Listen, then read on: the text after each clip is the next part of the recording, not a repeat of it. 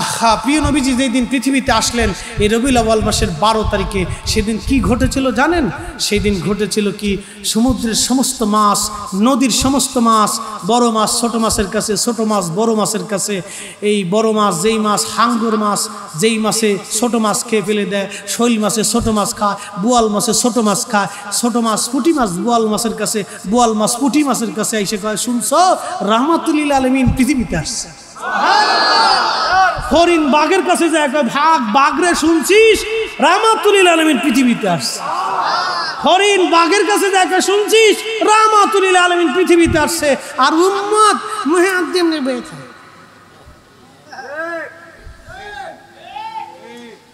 উম্মত এমনি বয়ে থাকে না, বেদাত, ওরে গুনার কাজ বইতে।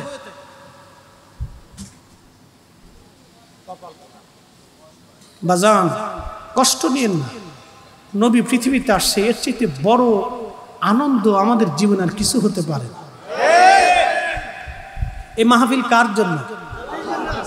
না, আল্লাহ তো আছে। মাহফিলটা পাইছি কারে দিয়ে? হ্যাঁ? জোরে কর। এখানে অনেকে সরমনার ফিরের মুরিদ আছে। আচ্ছা আপনারা সরমনার পীরের মুরিদ যারা আছেন, তারা বলেন তো, সরমনের পীরকে ভালোবাসেন কি কারণ? আল্লাহ এবং আল্লাহ রসুলের কারণে ভালোবাসেন। না, টাকা পয়সা দেয় হুজুরে। মাঝে মধ্যে এসে দিয়ে যায় না, যে তোমরা এই টাকা পয়সা দিয়ে গেলাম, লঞ্চ মঞ্চ সাজায় তোমরা আমার দরবারে চলে যায় নাকি? আচ্ছা আটটুসি যারা যান, তারা আটটুসি কি জন্য যান? গরু খাওয়ার জন্য। আটটুসি যান, আটটুসি পীরকে ভালোবাসেন কি জন্য? আল্লাহ আল্লাহ রসুলের মহাব্বতে ভালোবাসেন। আজকে আপনারা এখানে বসেন কেন? টাকা দিব আমি? পয়সা পাবেন? তো কেন বসছেন? আল্লাহ এবং আল্লাহ রসুলের মহাব্বতে বসছেন। কতক্ষণ ঠিক কিনা? প্রত্যেক দল, যদিও আকিদার ভিন্নতা আমাদের মাঝে আছে, মাসালার ভিন্নতা আমাদের মাঝে আছে, কিন্তু সবার উদ্দেশ্য থেকে আল্লাহ এবং আল্লাহ নবী। কতক্ষণ ঠিক কিনা? তো একজন আলেমকে ভালোবাসেন নবীর কারণে, আরও বুঝাই, আমার মাথায় পাগড়ি। এখন যদি এই পাগড়িটা খুলে নিয়ে আমি ফুটবলের মতো লাথি মারি, আপনারা ওয়াজ শুনবেন? কালকে সারা বাংলাদেশে আন্দোলন শুরু হয়ে যাবে। এক ঘণ্টার ভিতরে সারা বাংলাদেশ ভাইরাল হয়ে যাবে ফরিদি সাপ। পাগড়ি লাথি মেরেছে, আল্লাহ নবীর পাগড়িকে অপমান করেছে। ধর, এটা শয়তান হয়ে গেছে। সারা বাংলাদেশে কালকে মনে করেন যে তুফান শুরু হয়েছে আমার বিরুদ্ধে পার্টি যারা আছে, মনে করুন যে সারা বাংলাদেশে একবারে রাস্তায় নেমে যে ওনাকে ধরতেই হবে, মারতেই হবে। ফাঁসি চাই ফাঁসি চাই, ফরিদ হিসাবের ফাঁসি চাই। কি কথা কর না কেন এতক্ষণ আপনাদের সবার কাছে ভালো ছিলাম এখন ফাঁসি চান কারণ কি? এই যে সুন্নত এই কাপড় কোথায় ছিল? পাটের গোডাউনে ছিল তুলার গোডাউনে ছিল এরপরে এটা কোম্পানিতে আইছে এরপরে এটা কাপড়ের দোকানে আসছে এরপরে এইটা আপনার দর্জির দোকানে আইছে এরপরে এটার ভাগ্যের পরিবর্তন হয়েছে এই কাপড় দিয়ে মোজাও বানায় এটা পায়ে চলে যায় এই কাপড় দিয়ে জাঙ্গে বানায় এটা আন্ডারগ্রাউন্ডে চলে যায়। আচ্ছা জাঙ্গে খোলার পরে কেউ সুমা টুমা দেয় না? তোরা আসুস কে? তোরা কি জাঙ্গে পড়স? ওরা পরে না, কিন্তু আসে। আচ্ছা মুজায় কেউ কি সুমা দেয়? কিন্তু এই পাগড়ি পরে যাওয়ার পরে ছোট্ট বাচ্চাটাও কয়, এটা বাবার পাগড়ি, সুমা দেয়। এক কাপুরের ভাগ্য পরিবর্তন হইল নবীর সুন্নতের কারণে। এই, কথা বলেন না কেন, ঠিক কিনা? নবীর সুন্নতের কারণে যদি কাপড়ের ইজ্জত বাড়ে, তা আমার নবীর দাম কত গো? এই কথা কর না কেন? কত? কত? এই নবীরে দাঁড়ায় সালাম দেওয়ার জন্য কি আর দলিল লাগে? দলিলের দরকার? যে বেটা দলিল, সেই বেটা নিজেও বুঝে না। নিজেও বুঝে না। এই নবী তাজিম করার জন্য দলিল লাগে না ভাই। নবী তাজিমের জন্য নিজেই দলিল। আচ্ছা আতরকে সুঘ্রাণ যে আতরে যে গিরান আছে এটার জন্য কি দলিল লাগবে? ফরিদি সাহেব, আতরে যে গিরান আছে দলিল দেন। দরকার। ইমাম সাহেব, হুজুর ইমামের মেহরাবে যাবে, এই জন্য কি দলিল লাগবে? যে হুজুর ইমাম সাহেব মেহরা মেহরাবে যাবে, উনি মিম্বরে সর্বে দলিল দেন। কারণ কি? ইমামের জাগায় ওই মেম্বর, ইমামের জাগায় মেহরাব, ইমামের ইজ্জত ইমাম হওয়ার কারণে ওই মেহরাব ওনার, ওই ইজ্জত উনার, আমার নবী রহমতুল্লিল আলমিন হওয়ার কারণে ওনার ইজ্জত ওনার কাছে ওনার ইজ্জতের জন্য, তাজিমের জন্য নতুন করে দলিলের দরকার নাই, নবী নিজে নিজেই দলিল। ভাই, যে বুঝে তাকে বুঝানো যায়, যে বুঝে না তাকে বুঝানো যায় না। বুঝটা তো হৃদয় থেকে আসে। কথা ঠিক না? আমার মসজিদের সব মুসলি আলহামদুলিল্লাহ কে কোন ফিরের মুরিদের দেখা দেই নাই? তবলিক জামাতের যারা আছে সরমনাই ফুজুরি মুরিদ যারা আছে, জামাত ইসলামের যারা আছে, এবং অন্য দরবারের মুরিদ যারা আছে, এবং মুরিদ সারা যারা আছে, সব ইয়া নবী, সালাম আলিক ইয়া রসুল, সালাম আলিক আমি একটা কথাই বলছি, বাপ, নবীকে সম্মান দিবেন, তাজিম করবেন, দেখা লাগবে না, আশা লাগবে না, নবী আসবেন আর দাঁড়াবেন, এই জন্য না। নবীকে তাজিম করতে হৃদয় মোহাব্বত দিয়ে করা লাগে, বাপ। এটি নিয়ে ঝগড়া করা যাবে না। কাহা হুজুর, আপনি করবেন ইনশাল্লাহ আমরাও দাঁড়াবো। নবীর ইজ্জত তাজিমের জন্য আমরা দলিল লাগতো না। বাপ, এগুলি নিয়ে ঝগড়া করাটা একটা বেহুদা। অনেক ভাইরা বিতর্ক করতে চায়। আমি বলি, ভাই, যেটা হৃদয় দিয়ে অনুধাবন করা যায়, এটা নিয়ে বিতর্ক করার কিছুই নেই। এটা হলো হৃদয়ের মশালা এটা ভালোবাসার মশলা গসলুল মালায়কা হানজালাকে জিজ্ঞেস করেন, ও হানজালা তোমার জন্য তো গোসল ফরজ ছিল আর শরীর বিধান হলো গোসল করে তারপরে তুমি বের হবা। তুমি গোসল বাদ দিয়ে ওহুদে গেলে কেন? গাছলুল মালা একা বলবে রে নবীর উম্মদ নবী নাই আমি গোসল দিয়ে কী করব? নবী নাই আমি বাসর করে কি করব? নবী নেই, জীবন করে কি করব? এই জন্য চলে গেছে হুদে শহীদ হয়ে গেছি। আল্লাহ এটাকে আইব ধরে নাই দোষ ধরে নাই। আল্লাহ গুণে পরিণত করে আমাকে আসমান জগতে নিয়ে, হাউজে কাউসারের পানি দিয়ে গোসল করিয়ে আমাকে গসলুল মালায়কা বানাই দিস। নবীর মোহাম্মতের দলিল লাগে? দলিল যদি লাগে তো হানজালার কাছে যাচ্ছেন যে হানজালা, তুমি যে ভালোবেসে হুদে গেছিলে, কোন কোরআনের দলিলে গেছো? কোন হাদিসের দলিল দিয়ে গেছো? বলো, একটু দলিল দাও। তোমার তো গোসল তখনও ফরজ ছিল। আল্লাহর বিধান বাদ দিয়ে তুমি ওহুদে চলে গেলে কারণ কি? দলিল দাও। হানজালা বলে দেব বেটা, দলিল নিয়ে তুই অন্যদিকে চলে যা। আমার আল্লাহ গসলুল মালায়কা বানাইছে। আল্লাহ আমাকে আসমান জগতে নিয়ে পানি দিয়ে হাউসে কাউসারের পানি দিয়ে গোসল দিছে। যা অন্য কারও জীবনে ভাগ্যে কোনোদিন জুটে নাই আর কোনোদিনও জুটবে না। কথা বলেন না কেন? বলেন। বাপ হৃদয় থেকে বুঝতে হয় বন্ধু, দলিল দিয়ে হয় না। এটা হৃদয় থেকে বুঝতে হয়। ঝগড়া করে কি বুঝ হয়? ঝগড়া করে বুঝ হয় না। ও আশ শেষ করে দিচ্ছি। প্রিয় মোহতারাম হাজিরিন, তাবারুক আছে, না খেয়ে যাবেন না। অনেক কথা আমি আজকে আপনাদেরকে বলেছি, অনেক বিষয়ের উপরে আলোচনা তুলে ধরেছি। বন্ধু, আবার বলি, যখনই আল্লাহর কাছে চাবেন, এখলাসের সাথে দিলটাকে নরম করে দিয়ে চাবেন। আর একটা আমলের কথা বলে দিয়ে যাই। দুরুজ শরীফ কখনো সারবেন না। যুবক ভাইদেরকে বলি, যুবক ভাই, বোন, মা বোনদেরকে বলি, আপনাদেরকে বলতেছি, ঘর মুসিবতে পড়ে গেছেন, চাকরি হয় না, বিপদে পড়ে গেছেন, ব্যবসা হয় না, রুজি আসে না অল্লাহি বিল্লাহি তাল্লাহি, একটা আমল দিয়ে গেলাম। এশান নামাজের পরে অধিক হারে দুরুশ্বরী পড়তে থাকবেন পড়তে থাকবেন। পড়া শেষ, যাদের বেশি পেরেশানি থাকে দুরুশ্বরী পড়ার পরে আল্লাহর দরবার দুই হাত তুলে চোখের পানি ছেড়ে দেবে।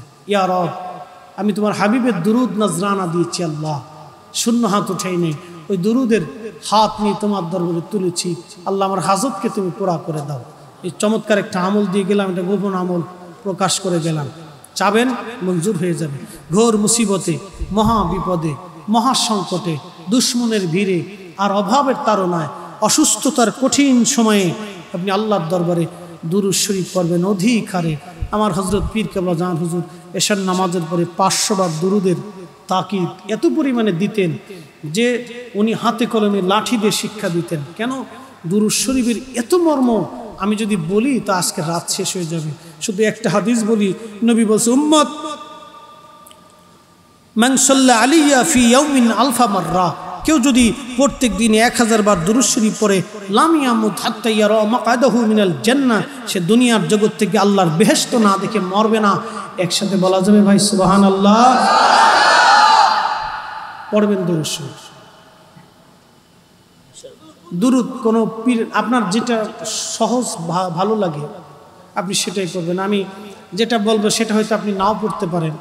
আপনার কাছে যেটা সহজ মনে হয়, আপনি যেই তরিকার আছেন, ওই তরিকার দুরুদি পড়েন, অসুবিধা নেই। বলে, হুজুর তোর দুরুদ কি তরিকা ভিন্ন হয়? না, এক একটা তরিকাতে এক একটা দুরুদ শিব আছে। উনত্রিশটা দুরুদ আছে হাদিসের পরিভাষা সোমান আল্লাহ বলা যাবে না ভাই?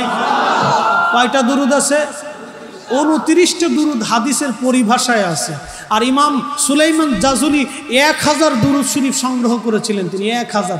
আরও অনেক দুরুদ আছে। নবীজির স্বপ্নে দেওয়া অনেক দুরুদ আছে। এগুলি অনেক ওয়াজ। ভাই আর একদিন ইনশাল্লাহ। তাহলে আগামী বছর কি মাহফিল হবে? জোরে বলেন না হবে। বলেন ইনশা আল্লাহ বলেন ইনশা আল্লাহ প্রিয় ভাইরা আগামী বছর মাহফিল হবে। আমরা ধন্যবাদ দিব আজকের প্রধান অতিথি জনাব বাবলা সাহেবকে। তিনি সময় দিয়েছেন আলহামদুলিল্লাহ। আমরা ধন্যবাদ দিব মুখতার রেজা মাসুমি ওসমানী সাহেব তিনি আসতে পারেন নাই। উনি দূরে আসেন আচ্ছা হুজুর, মোনাজাত করার কথা ছিল, উনি আসেন নাই। আমরা আন্তরিকভাবে দুঃখিত। আজকের বিশেষ অতিথিবৃন্দ যারা আলহাস দেলার হোসেন পাটোয়ারি সাহেব, উনি আসে নাই? তাই তো ওনার নামে মামলা করে দেওয়ার দরকার কালকে। কালকে ওনার কি? ঢাকা বারে যাই, একটা মামলা দিয়ে দিই, সুপ্রিম কোর্টে যাই। আচ্ছা আমি ফোন দিবানি।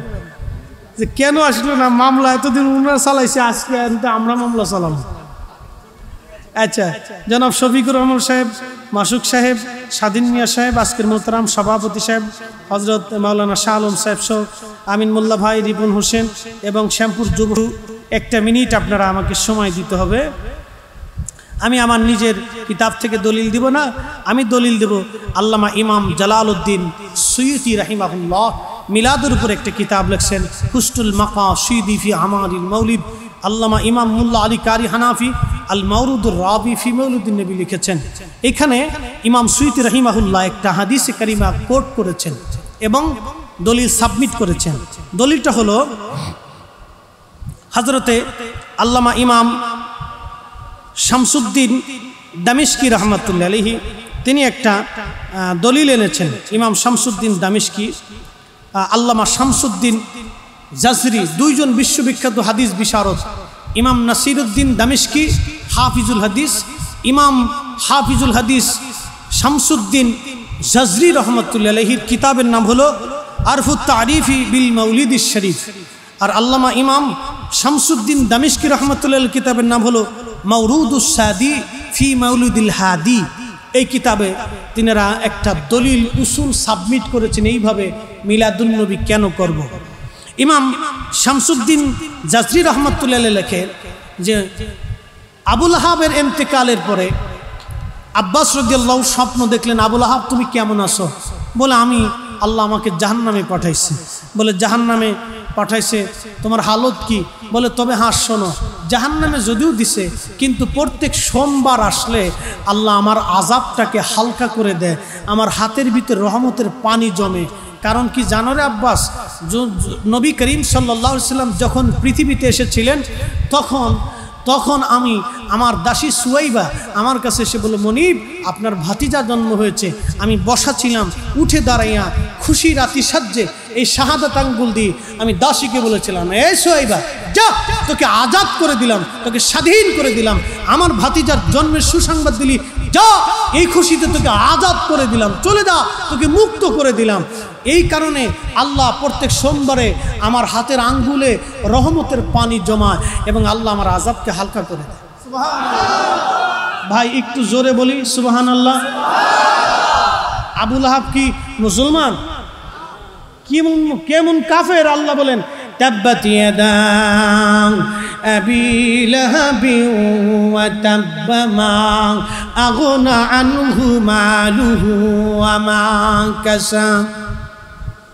কি কাফের? যে আল্লাহ কোরআনের আয়াত দিয়ে বলতেছ ধ্বংস হোক। তারপর সোমবারের দিন আল্লাহ রাজা হালকা করে দেয়। কারণ কি? নবীর কারণে। জোরে বলা যাবে না সুবাহ আল্লাহ এই হাদিস বলার পরে ইমাম শামসুদ্দিন জাজরি এবং নাসির উদ্দিন দামিশকি, দুইজন ইমাম এবং আল্লামা ইমাম জালাল উদ্দিন সুয়ুতি, যিনি দুই লক্ষ হাদিসের হাফেজ ছিলেন। তিনারা কি বলতেছেন দেখেন? তিনারা বলতেছেন, ফাইদা কানা আবু লাহাবুল কাফির। আবু লাহাবুল কাফির। আল্লাহ নাসাল আল কোরআন তার ধ্বংসের জন্য আল্লাহ কোরআনের আয়াত নাজিল করছে। জুজিয়া ফিন্নার আল্লাহ তাকে জাহান নামে পাঠিয়েছেন বি ফরাহি লাইলাতা মাউলিদিন নবী সাল্লাল্লাহু আলাইহি ওয়াসাল্লামা। বিহি, আল্লাহ রাব্বুল আলামিন নবীজির আগমনের রজনীতে খুশি হওয়ার জন্যে তাকে আল্লাহ রাব্বুল আলামিন আযাব হালকা করে দিয়েছেন। ফামাহালুল মুসলিমিল মুহিদ মিন উম্মতিন নবী সাল্লাল্লাহু আলাইহি সাল্লাম ইউসাররু বিমাউলিদিহি ওয়া ইয়াবযুলু মা তাসিলু ইলাইহি কুদরাতহু ফি মুহাব্বতিহি সাল্লাল্লাহু আলাইহি ওয়াসাল্লাম। হযরত ইমাম নাসিরউদ্দিন দামিশকি, ইমাম শামসুদ্দিন জাজরি, ইমাম জালালউদ্দিন সুয়ুতি, তিনজন বিশ্ববিখ্যাত ইমাম হাফিজুল হাদিস, তিনারা বলতেছেন, এ নবীর উম্মত, তোমরা শোনো, যে আমরা মুসলমান, আমরা নবীজির মিলাদে খুশি হওয়ার কারণে এবং মিলাদে খরচ করার কারণে মিলাদুল নবী পালন করার কারণে আল্লাহ রাব্বুল আলমিন আমাদেরকে একটা পুরস্কৃত করবেন। কি? আমরিহি ইন্নামা ইয়াকুনু জাসাউহু মিনাল্লাহিল করিম, আইয়ুদখিলাহু বিফাদলিহি জান্নাতিন নাঈম।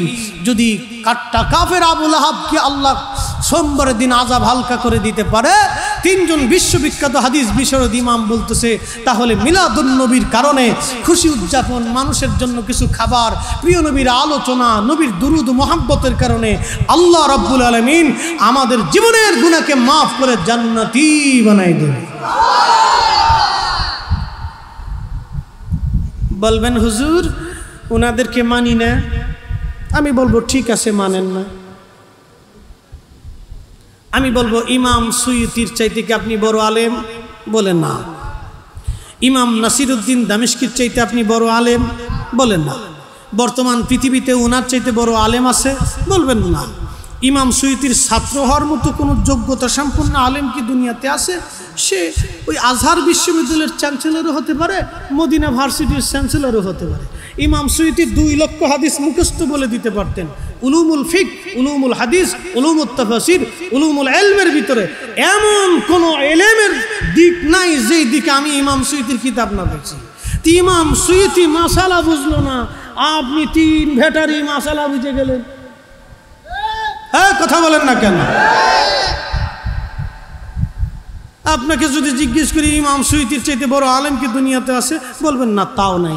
যদি তা না থাকে, তাহলে আমরা সুন্নি যারা আছি, আমরা ইমাম সুইতি, ইমাম জাজরি, ইমাম নাসিরুদ্দিন দামেশকি ইমাম হজরত কালানিমুল্লাহ আলী কারি হানাফি, পৃথিবী বিশ্ববিখ্যাত আয়ম্মা ইকরাম যা ফতোয়া দিছেন, আমরা মিলাদুল নবী করতেছি, আগামীতে করেই যাব ইনশাল্লাহ। হাত উঁচা করে বলেন, ঠিক না বেঠে এসেছেন যত নবী। সকলের ইমাম সালাম নবী তোমায় হাজার